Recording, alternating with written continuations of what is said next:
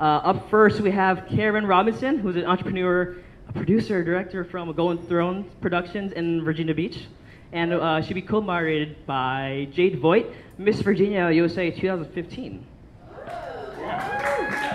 And uh, who's our special guest speaker? So I would like to introduce our first panel of the night. We have Matthew Penn, producer and director of over 200 primetime hour dramas. Penn has worked for virtually every network and significant cable channel. His most notable credits are Orange is the New Black, Law and Order, The Sopranos, most recently Queen of the South, and upcoming series The Mist. Everyone give it up for Matthew Penn. All right, it is good to have everybody here. Matthew, you especially. I uh, actually grew up watching Law and Order, so. You know, thank goodness you did. I have kids to put through college. it was, uh, yeah, when I read your bio, I was just like, what an honor. Such a good, thrilling storytelling show. It was just great. House, especially. So I just, um, yeah, I'm just really excited about that. Um, we have a couple questions. You know, we're both in production, behind the scenes, and so we just really wanted to know what drove you to get into producing and filming. What was that um, factor that got you into it from the get-go? You know something? One of the things that I, uh, I'm going to stand up actually. You mind? One of the things that um, I enjoyed was telling stories about people, and uh, I was working in the theater. I was working in the theater in New York. Uh, uh, as an actor and then as a director. And uh, it was the telling of a human story, which is what got me into film and television and theater in the first place. Um, and I won't bore you with the whole journey from acting on stage to directing on stage to finally getting into television. It was a long journey and, and a hard one, uh, uh but, but, but good and valuable and what I cared about was, as I say, telling stories about people. I mean, I want you to sit there, watch your TV, and go, that meant something to me, or that spoke to me, or that meant something to the person I'm with, or, and that, if you can tell a story like that, that has a kind of resonance, that's everything. So that's what got me in. Wow, amazing One of our next questions is for aspiring directors and producers. Um, how do you get the attention of a rep or studio uh, as a first-time director or producer? Uh, okay, well, that's that's a long that's a long answer. But uh, how many directors do we have out here? Okay, that's good. That's good. Uh, here's here is I'm going to tell you a story just by way of uh, the anecdote is the best way I know how to describe it. So I got a call from a friend of mine who teaches at a sort of a esteemed theater program, and he said, "You got to meet this young woman. She was a student of mine, and she's done extraordinary work, and she put together a web series, and you have to meet her." And so we tried to find time. You know, this was a dear friend, so we tried to. I said, "Okay." We tried to find time to have a cup of coffee or lunch. We finally found time.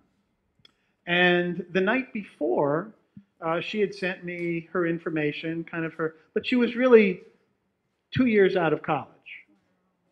And what she'd done, she come to New York. She came to New York and she got a job waitressing.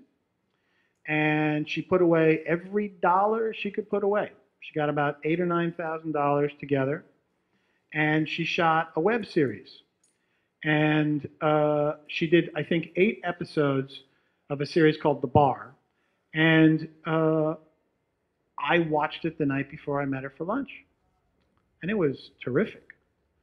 And so I went in I said, What inspired you? She said, You know what? I came to New York to direct and to act. Uh, I wrote this with a dear friend of mine whose work as a writer I appreciate. And uh, I put it together. I got crew together and I paid everybody just the smallest possible that I could but everybody worked. I got a DP who wanted to do it, and she did it. And that's my advice. and I don't mean to say go make a web series necessarily, but I do mean to say go do it. Direct a reading in a friend's loft. Go find a theater that has 20 seats. Uh, make a web series. Uh, you know, you can rent a camera these days for not that much money. And you can go out and you can tell a story. If you don't write, find a writer who does. If you're not a DP, find a DP who wants to shoot something with you. Believe me, they're out there. So uh, it's like that old Nike thing just do it. That's what you have to do. Now, I'm not kidding you. It sounds like a glib answer.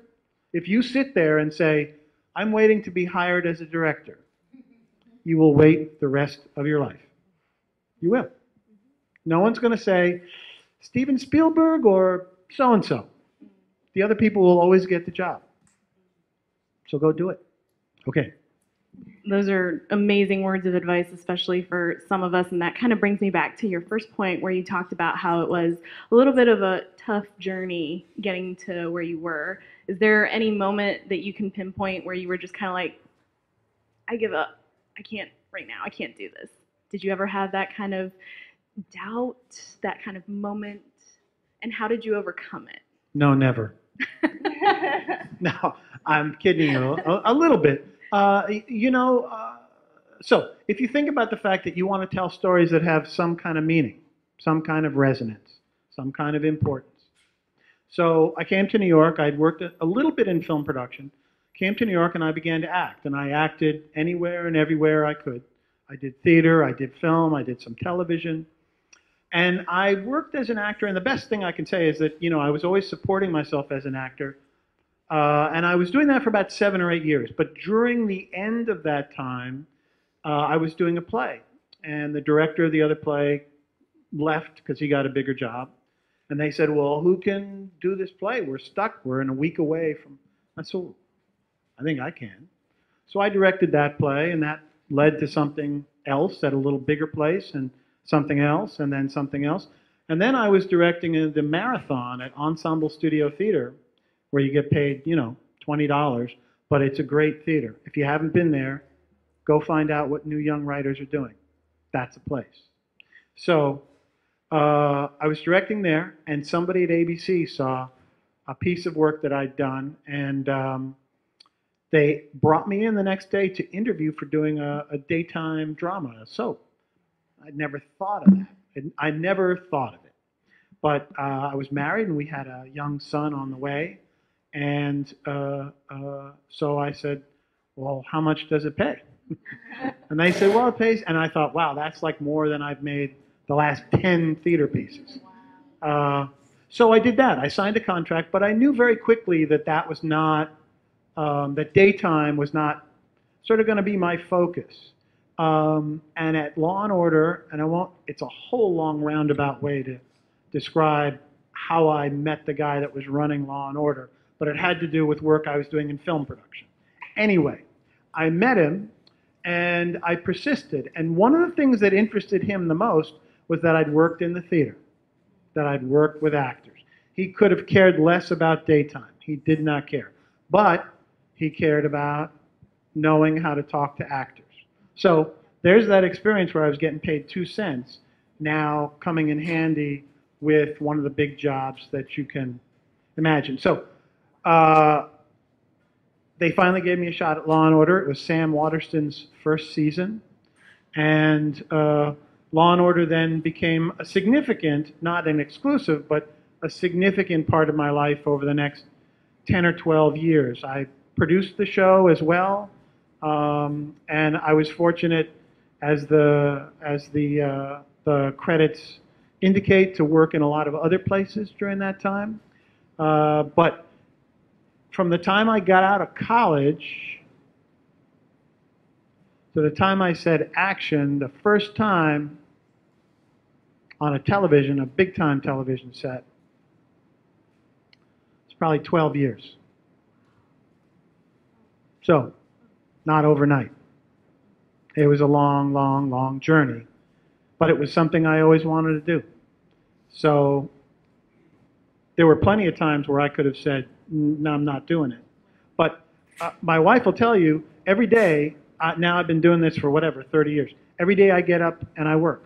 And I work on work, whether that's reading three more scripts or setting up a meeting or whether I'm shooting something or editing something. But every day I work on work.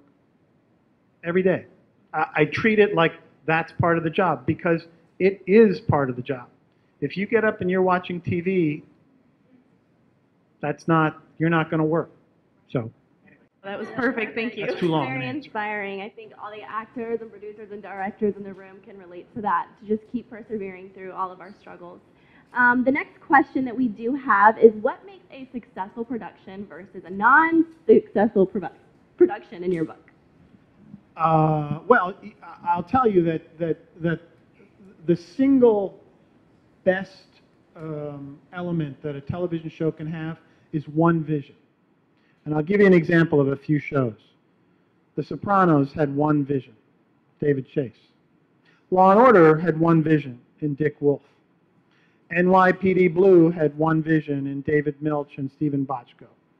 Uh, Damages with Glenn Close had one vision. Those are all shows I had the real privilege and honor to work on a lot. And uh, in network television, you guys don't have to worry about this yet necessarily. But, you know, by the time a creator of a show sees it on the air, they've been inundated with so many notes, so much input, so much that it, um, it can be overwhelming. And pretty soon, the story that started as a horse has now become a donkey.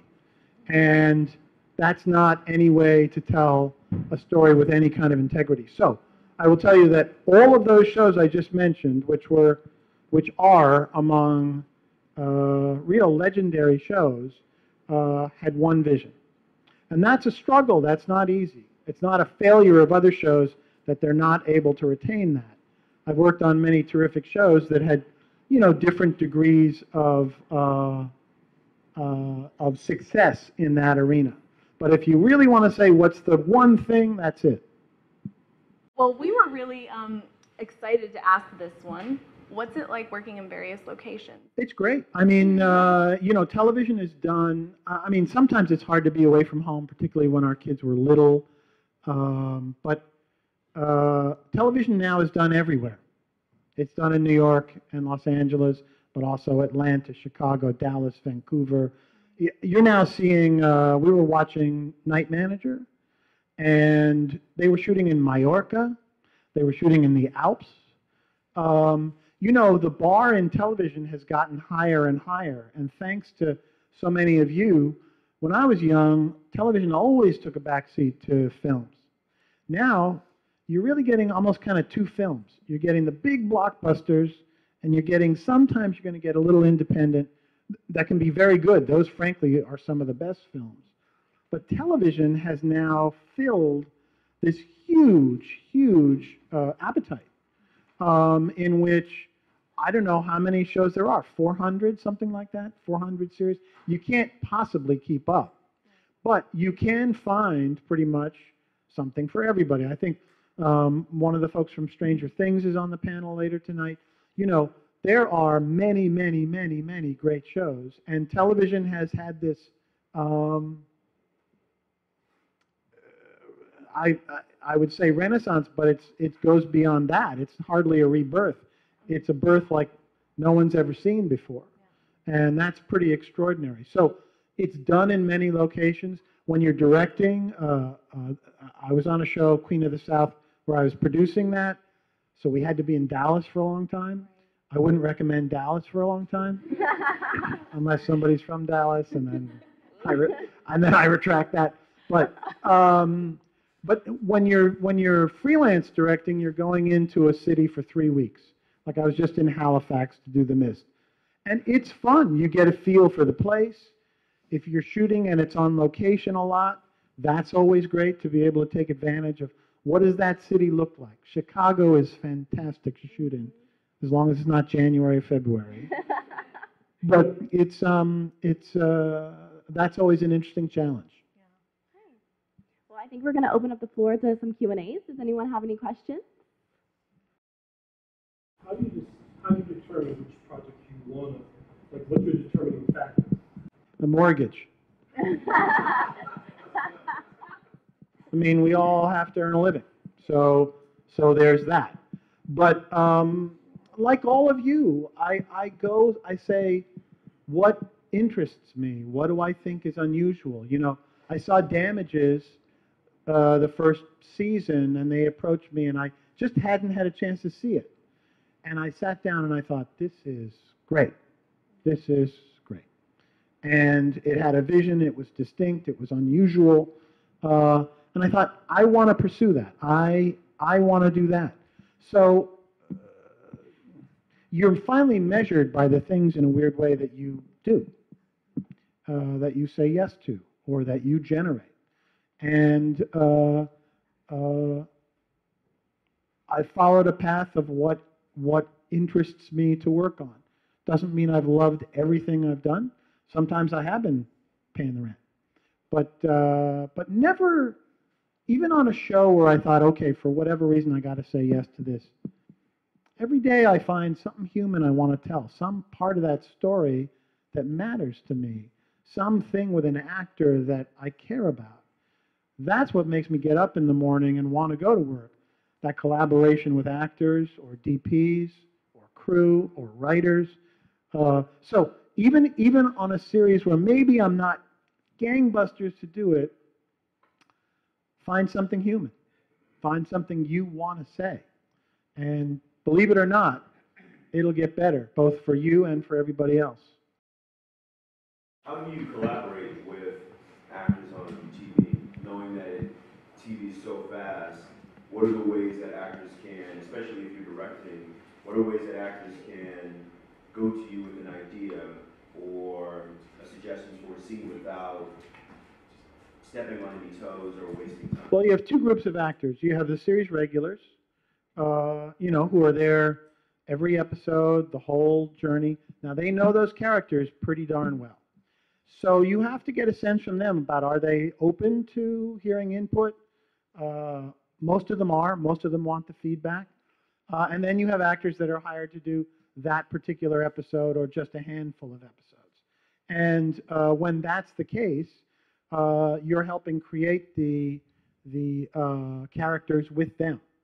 And uh, those folks, those actors, tend to be very responsive because they want to please. They want to please you. They also want to find what's the vision that you have, that the writers have. So uh, my experience is almost all actors want to hear feedback.